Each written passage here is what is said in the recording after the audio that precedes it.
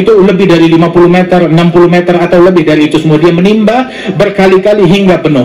Untuk apa? Agar hewan yang lewat, mau itu keledai bahkan anjing minum di situ. كل ليلة Setiap malam, كل ليلة setiap malam. يملأ الحياض للحيوانات في تريم ينزح من آبار عمقها 60 قامة و50 قامة memenuhi kolam-kolam air من مسألة tempat رحمة minum. قرأ لكم عبارة الشيخ أبو بكر بن سالم ايش قال هنا رحمة من طريقنا رحمة من ربنا على أهل الأرض كل الخلق. إذا ما ملأنا قلوبنا بالرحمة للناس ما عرفنا طريق هؤلاء الأقوام. قال رحمة بأهل الأرض على المسلم والكافر على الطائع والعاصي على المحب والمبغض. محض رحمة لأنهم كمل الورثة لمن جعله الله محض رحمة. Eh, namun saya berucap semacam ini semata-mata karena rasa sayang dan rasa iba saya kepada semua makhluknya Allah subhanahu wa ta'ala yang dekat maupun yang jauh. Sebagaimana barusan kita dengarkan dari nasihat yang disampaikan oleh Habib Salim bin Umar bin Hafidh bahwasanya Syekh Abu Bakar bin Salim jalannya beliau adalah rahmat dan kasih sayang kepada semua makhluk-makhluknya Allah subhanahu wa ta'ala. Semata-mata karena terdorong rasa cinta dan kasih sayangnya kepada semua makhluknya Allah Hidrau ala ahlil ard. Baca di situ tertulis karena rahmat dan kasih sayangku kepada seluruh penghuni bumi. Magal al muslimin wahda. Dia enggak bilang hanya untuk muslimin saja. Magal al tai'in wahda. Atau hanya kepada orang yang taat saja. Magal al muhibbin wahdahum. Atau hanya untuk para pecinta dan muhibbin. Al ard, kullul ard.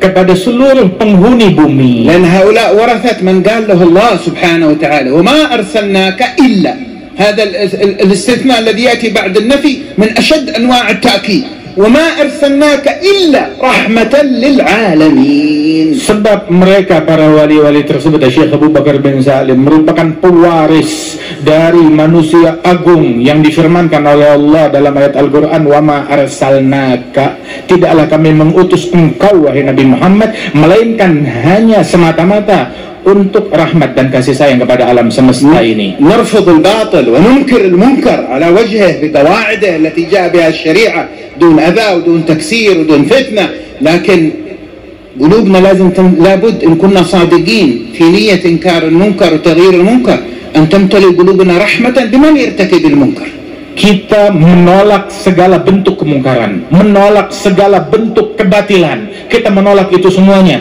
Akan tetapi juga kita merahmati semua orang. Kita menyayangi semua orang dan kita ingin menyelamatkan dan mengevakuasi semua orang masuk ke dalam rahmatnya Allah. إمامنا في إحداد الحق ومحاربة الباطل والدم يسيل منه صلى الله عليه وآله وسلم وحلق المغفر في مجنته كسرت رباعيته ينظر يرى عمه حمزة مضرجا في دمه وقد بقرت بطنه ومثل بجسده ومثل بسبعين من أصحابه بعدين يرفع يديه للسماء يقول اللهم اهدي قومي فإنهم لا يعلمون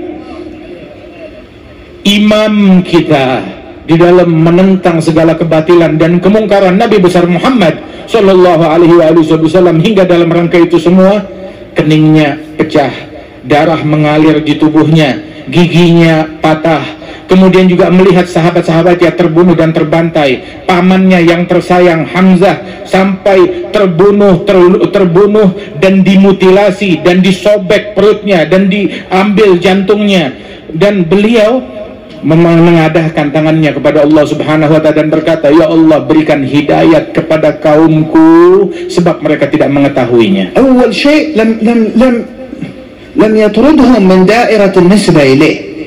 Pertama dari ucapan beliau eh, Nabi Muhammad mengatakan Nabi tidak mengusir mereka dari lingkaran umat dan kaumnya. Nabi bilang, "Ya Allah berikan hidayat kepada mereka para pembunuh tersebut, mereka tetap kaumku." kaum ana ibu. Kaumku kata Rasulullah Man ya Rasulullah? Kuffar harbiyun. Siapa mereka yang disebut kaumku oleh Nabi Muhammad orang-orang kafir harbi? Jahadahum taqarruban ila Allah qatalahum دافع عن عن بلده وعن أمته من اعتدائهم لكن قلبه ينظر إليهم على أنهم من قومي ما أخرجهم من دائرة قومي Nabi berjihad memerangi mereka di dalam membela Islam, membela agama, membela negeri dan masyarakat. Akan tetapi tetap Rasul Shallallahu Alaihi Wasallam tidak mengusir mereka dari lingkaran mereka kaumku. بعد ما قال قومي عاد يعتذر لهم صلى الله عليه وسلم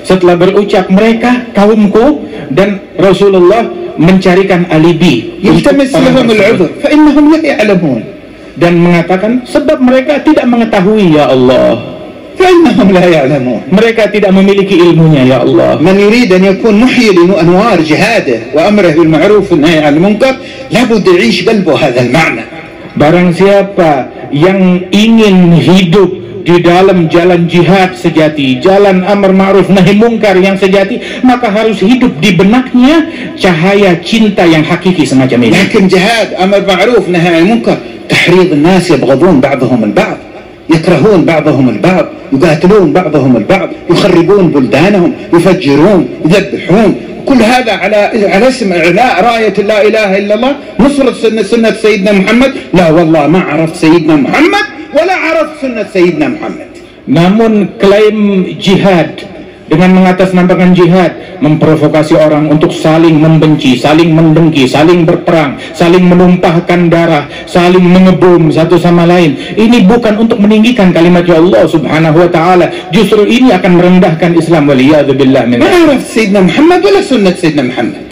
Nabi Muhammad Shallallahu Alaihi Wasallam eh, orang yang semacam ini tidak mengenal Nabi Muhammad dan tidak mengenal sunnahnya Nabi Muhammad. تعال تعال إلى حضره سيدنا الشيخ بكر بن سالم تعلم هنا تعال. Mari sini datang ke hadapan Syekh Abu Bakar bin Salim belajar dari beliau. تعلم كما سمعتم يخرج منتصف الليل يخرج من اللسك البلغاريا اللي هو فيها إلى ترين فأحيانا من شدة البرد وقد انقطع شعثي نعله يذهب حافيا فتتشقق قدماه وتسيل قطرات الدم فيصبحن الراعيات يتكلمن وهن يخرجن الصباح بالغنم ليرعين يقولوا هذه آثار أقدام وتسالم بن عبد الله هو مولي إلى ترين. Ada Syekh Abu Bakar bin Salim keluar setiap malam dari Lisik beliau keluar pergi ke kota Tarim berjalan kaki dan di musim dingin kakinya pecah-pecah darah mengalir dan ada bercakan darah di jalanan dengan telapak kaki beliau eh, sehingga para penggembala kambing itu mereka dan juga para petani di pagi hari melihat bercak darah di jalanan mereka ini adalah bekas telapak وإيش kakinya تسوي Salim في bin تريم يا Abdullah سيدنا الشيخ كل ليلة تذهب إيه معك تسوي في تريم apa yang dia lakukan tiap malam pergi ke Tarim sampai kakinya berdarah-darah سمعتم كلام الحبيب محمد بن عقيل الحامد يصلي في كل مسجد ركعتين Kamu dengar dari ucapannya Al Habib Muhammad bin Agil Al Hamid kalau Syekh Abu Bakar tiap malam datang ke kota Tarim salat dua rakaat di setiap masjid 360 720 ركعة totalnya 720 rakaat setiap لكن malam اسمعوا دعونا اليوم مع ذكر هذه الخوارق للعادات والمجاهدات الكبيرة نبحث عن المعنى الذي فيها Tapi ayo dengarkan dulu. Bersama keajaiban dan karamat yang demikian agung tersebut coba kita kita kaji apa yang dilakukan oleh Syekh Al-A'zam min min min min, min al-karamat allati khawarij al-'adat. Al-karamat allati kharij 'adat an-nufus هي خرق عادات النفوس yang lebih agung daripada keramat yang bisa me- m- eh, melanggar daripada nalar dan akal manusia adalah keramat yang bisa merobek batasan nafsu أكثرنا seseorang. يعرف قصص كرامات سيدنا الشيخ أبو بكر اللي فيها خرق عادات الطبيعة Kebanyakan orang yang mengenal daripada kisah keramat Syekh Abu Bakar bin Salim adalah keramat yang bisa melakukan hal-hal yang aneh dan ajaib. إيه، لكن الكرامات الأكبر والأعظم خرق عادات النفوس Tapi keramat yang terbesar adalah melawan daripada kebiasaan dan dorongan nafsu. كل ليلة 720 ركعة Tiap malam 720 rakaat. ويصبح منكسر ما هو منتفخ انه معهم 720 ركعة Setelah خارق عادة النفوس 720 rakaat pagi harinya dalam keadaan luluh menunduk tawaduk dengan hati yang renyuh bukan meninggikan diri ataupun menyombongkan diri. سمعتم من كلام السيد حامد ومن بعده سيدي الحبيب كاظم يقولون انه من الحياض تعرفون الحياض الحياض هي الأوعية الكبيرة توضع في الشوارع اللي تشرب منها الماشية والحيوانات حتى الكلاب الضالة Kalian dengar dari ucapan Sayyid Hamid dan juga Al Habib Kazim yang menyampaikan kalau Syekh Abu Bakar bin Salim itu memenuhi tempat minum hewan kolam yang disediakan untuk minum hewan unta atau kuda atau keledai dalam perjalanan mereka. يمكن ما تشعرون بأهمية هذا كثير في أندونيسيا ما شاء الله عندكم أنهار هنا موجودة الحيوانات تتحصل Eh, hal yang semacam ini mungkin di Indonesia eh, t- tidak banyak atau tidak ada. Sebab di sini banyak sungai, air mudah ditemukan, beda dengan di الله Hadramaut. يبارك لكم فيها إن شاء الله Wah insya Allah apa yang Allah Ta'ala anugerahkan untuk penduduk Indonesia ini dimakin diberkahi oleh Allah Ta'ala. عندنا في حضرموت انك بتقدر تملى وعاء من الماء هذه قصة كبيرة Di Hadramaut, kalau Sahabat kalian ketika dahulu zaman dulu kalau kalian mampu memenuhi satu tempat air dipenuhi dengan air itu adalah sebuah uh, pemberian yang luar biasa. ما معنى يملأ حوض الماء حق البهايم معناه ياخذ الرشاء وينزح من البير مرة بعد مرة بعد مرة والبير عميق عندنا الآبار تصل إلى 50 قامة إلى 60 قامة ينزح ينزح ينزح طول الليل لأجل يعبي الماء من أجل ماذا إذا مرت حيوان كلب ضال ولا بهيمة تشرب شربة من هذا الماء dan tahu maknanya memenuhi kolam untuk minuman hewan maknanya dia harus menimba air sumur di Hadramaut itu itu lebih dari 50 meter 60 meter atau lebih dari itu semua dia menimba berkali-kali hingga penuh untuk apa agar hewan yang lewat mau itu keledai bahkan anjing minum di situ كل ليلة setiap malam كل ليلة setiap malam يملأ الحياض للحيوانات في تريم ينزح من آبار عمقها 60 قامة و50 قامة memenuhi kolam-kolam air tempat minum hewan yang dalamnya itu sumurnya itu bisa 50, 60, 70 meter. Maladhi hamalahu ala dhalik apa dorongan apa yang mendorong beliau untuk melakukan itu semua? Sir al-irth limakna wa ma arsalnaka illa rahmatan lil alamin. Adalah sir warisan dari Rasul sallallahu alaihi wasallam yang diwahyukan oleh Allah semata-mata diutus rahmat kasih sayang untuk alam semesta. Fi kulli kabidin ratbatin ajr. Untuk setiap yang bernyawa itu adalah pahala kalau kamu tumpahkan kasih sayangmu kepada mereka. بغية عاصية دخلت الجنة لأنها رحمت كلب وسقته ب- ب- بحذائها Salah seorang wanita pendosa masuk ke dalam surganya Allah Subhanahu wa taala akibat rahmatnya kepada seekor anjing yang dia berikan minum. طيب والعالمين هو الحيوانات من العالمين هي Dan alamin apakah eh, he- eh, hewan juga bagian dari para eh, alamin? في خلاف عندنا طلبة العلم قدامنا هنا منهم من قال الإنس والجن والملائكة ومنهم من قال كل ما خلق الله في العالم Dan itu semuanya terjadi khilaf para ulama sebagaimana ini bukan hal yang muskil bagi para talabatul ilm bahwasanya alamin ada yang mengatakan kalau itu jin, malaikat dan juga manusia, ada juga yang menyatakan semua makhluk hidup. كان يستطيع سيدنا الشيخ يقول انا بتصدق باكل الكلب اللي يمر جنبي شيء ولا كذا والعالمين ذيلا ما هم من العالمين بحصل لي مخرج كثير من العلماء قالوا ما ما, ما هكذا مسلك اهل الله مسلك اهل الله في تربية النفوس وتزكيتها على المعاني أن يأخذوا بالعزائم. وفي تعاملهم مع الخلق في تيسير أمر الدين للخلق وتحبيب الدين إلى الخلق يساعدون الناس بالرخص.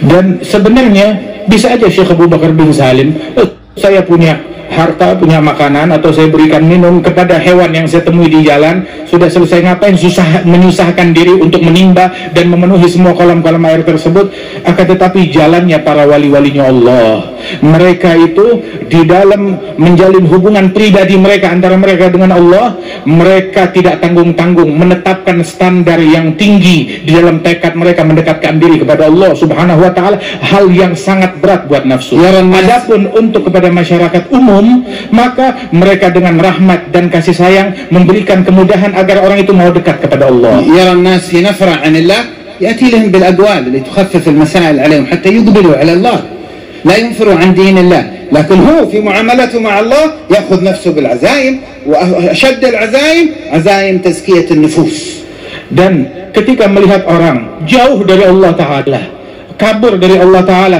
maka dia perlembut dan dia dekatkan orang tersebut untuk mau dekat kepada Allah Subhanahu Wa Ta'ala dengan memberikan kemudahan dan membuat orang itu untuk cinta dan dekat kepada Allah Subhanahu Wa Ta'ala dan tertarik. Adapun antara dia dengan Allah Subhanahu Wa Ta'ala dalam perjalanan seiringnya menuju Allah dia ambil hal yang paling berat dengan tekad yang paling kuat dengan mujahadah yang paling hebat untuk mendekatkan diri kepada Allah. Rahimallah khana mundir Sayyid mundir eh, misal. كان التقى فرجت بعض الشباب التائهين في الشوارع. هذا عليه الوشوم وهذا يستعمل المخدرات وهذا وهذا وهذا. لو نظر إليهم بنظرة بعضنا اليوم إلى العصاة ما كان رأيتم ما رأيتم من الخير الذي أجراه الله على يده.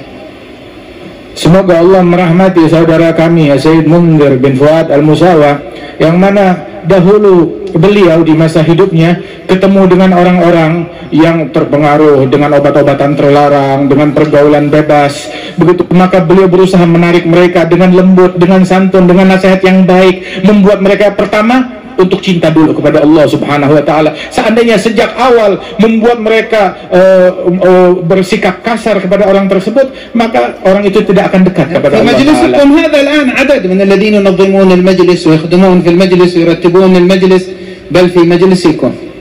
Di majelis kalian ini sekarang ada daripada orang-orang tertentu yang berhasil direkrut dan ditarik oleh Habib Mundir al-Musawa hingga akhirnya saat ini mereka berkhidmat dengan tulus menjalankan majelis ini. Bukan hakam alaihum min awal nazar la hadula hayatuhum ashkaluhum tasrihatuhum ta'amulatuhum kalau sejak awal pertama ketemu mereka sudah langsung memfonis dan menghakimi orang-orang tersebut maka nggak bakalan dekat. Kepada Allah. لكن رأينا فيهم أناس لديهم محبة ورحمة واستعداد للخدمة بل وتواضع وانكسار ما نجده عند كثير من منا نحن المترسمين بالعلم وخدمة الدين Justru kami melihat daripada orang-orang yang berhasil ditarik dan direkrut tersebut, orang-orang yang tulus dalam berkhidmah dengan tawadhu kepada Allah Subhanahu wa taala yang mana tidak kami temukan bahkan di kalangan orang-orang yang berkecimpung dalam bidang ilmu. Ba'dhum al-an buduhum man arbab al-qulub. Oh subhanallah di antara mereka adalah orang-orang yang memiliki hati bagaikan emas. Ya ada al-an fi hadha majlis minhum kana wal amsa ashab mukhaddarat. Eh, di antara mereka itu ada di hadir di majelis ini bahkan saya jumpa dengan beberapa dari mereka yang dulunya mantan pecandu ونظر إليهم الحبيب منذر الله يرحمه نظرة ود ومحبة ورحمة ما هي نظرة حكم على البشر ولا تحكم فيهم Al Habib Munzir memandang kepada orang tersebut dengan pandangan rahmat kasih sayang bukan pandangan yang memfonis dan menghakimi ما قام يحكم عليهم هذا كذا وذا كذا وذا كذا وذا كذا وذا كذا tidak memfonis mereka dan menghakimi ini orang begini nggak bakal jadi baik nggak bakalan jadi benar tidak menghakimi orang لأن نظر إليهم أن فيهم ذوات فيها سر النفخة الإلهية نفخت فيهم الروحي memandang mereka dengan husnuzan bahwasanya mereka adalah zat yang di dalamnya terdapat tiupan rahmat Allah Subhanahu wa taala. Azzam fihim anwar la ilaha illallah hatta la ba'dhum ma kan yu'azzimha. Mengagungkan mereka orang-orang yang di hatinya ada cahaya la ilaha illallah padahal orang tersebut juga belum paham makna keagungan yang ada di dalam hati ya. Isma'u hadzal kalam. Dan dengar ucapan ini. في عدد في مجلسكم هذا من أصحاب القلوب الذين تتنزل أمطار الرحمة والأنوار في المجلس بسبب حضورهم ممن كانوا من هؤلاء من أولئك Dan ketahuilah, dengar, ada orang-orang sejumlah orang hadir di majelis kalian ini yang hatinya saat ini diguyur hujan rahmat dan anugerah Allah Subhanahu wa taala berkat orang-orang yang dulu direkrut oleh Habib Mundir. واحد من الذي كان أمس لو نظرت إليه اليوم إلى مثله في الشارع ت- تنظر إليه شزيرا Orang yang kalau kemarin dulu kalian melihatnya di jalanan, mungkin kalian akan ingkar kepada orang tersebut. Namun sekarang keberadaan dia di majlis ini, majlis ini jadi berkah. berkat salah satu daripada orang yang semacam ini. Dan di antara mereka mungkin kita nggak ketahui kita masuk surga dengan berkat orang yang semacam itu. Ini anugerahnya Allah atau kamu mempermasalahkan anugerah dan pemberian Allah. كنت تفهم وما عندك مشكلة خلاص خلونا ننظر لعباد الله بهذه النظر Kalau kamu faham dan nggak ada masalah dengan apa yang diucapkan ini, mari kita pandang semua hamba Allah dengan pandangan rahmat dan kasih sayang ini. هذا سيدنا الشيخ اللي يملى حياض الماء شوفه Lihat bagaimana Sayyidina Syekh Abu Bakar bin Salim yang memenuhi dunia ini dengan manfaat. لو عشنا هذا المعنى معنى انه يسهر طول الليل يملى الحياض للكلاب الضالة اللي يعيش هذا المعنى من الرحمة ما بيفجر ولا بيخرب في بلاده ولا في وطنه ولا بيأذي عباد الله ولا بيقتل خلق الله ولا بيقيم الفتن بين الناس. ما بيتأتى لأنه قد قلبه مليء بأنوار الرحمة هذا Orang kalau mengerti bagaimana Sayyidina Syekh Habib Bakar bin Salim memenuhi kolam uh, air dengan air untuk diminum oleh hewan, oleh anjing, oleh keledai dan lain sebagainya, maka orang kalau dia faham tersebut, dia tidak akan meledakkan bom di masjid atau mencaci atau memaki atau memecah belah atau menimbulkan kerusuhan di suatu negeri sebab memandang semua manusia dengan rahmat, kasih sayang dan rasa iba. Hada yarham kalb, yusri, bani adam bimutu Orang cinta kepada seekor anjing hingga dia memberikan minum kepada anjing tersebut, maka lantas dia mau membunuh anak Adam? Nggak mungkin. خلونا نقرأ ترجمة سيدنا الشيخ وأخباره مرة أخرى بالبحث عن المعاني Ayo kita baca daripada riwayat hidup Syekh Abu Bakar bin Salim. Sekali lagi kita renungi, kita bahas makna yang terkandung di dalamnya. يوم قالوا له انه شيخك شهاب الدين الاكبر قال له ولد سالم بن عبد الله عاده الا بسمل eh, ketika dikatakan bahwasanya gurumu gurumu adalah Syihabuddin Al-Akbar Al-Imam Syihabuddin Ahmad bin Abdurrahman itu Syekh Abu Bakar bin Salim saat itu baru saja ya istilahnya belajar bismillah هذا ولد سالم من عبد الله عاد ولا بسمل عن في بدايات سيدنا الشيخ yakni saat itu Syekh Abu Bakar bin Salim baru di awal dan permulaan daripada perjalanannya فلما أبلغوا سيدنا الشيخ انتبهوا من اللي راح يقول لشهاب الدين شوف الشيخ يسوي ويسوي لأجل يخرج الكلمة. ومن اللي رجع له عند سيدنا الشيخ يقول شوف شهاب الدين شيخك يقول عليك كذا وكذا. عادها موجودة ذا النفوس ما انتهت. Saat itu Syekh Abu Bakar bin Salim itu banyak orang mengkritik beliau. Syekh Abu Bakar ini baru belajar baca bismillah. Begitu orang ngadu membawa omongan kepada Syekh Budin kemudian datang kepada Syekh Abu Bakar bin Salim, oh, Syekh Budin gurumu itu beliau mengkritik kau dengan kritik ini dan itu. Jadi ada provokator di zaman dulu juga ada, bukan sekarang aja. Marhaban bil gaili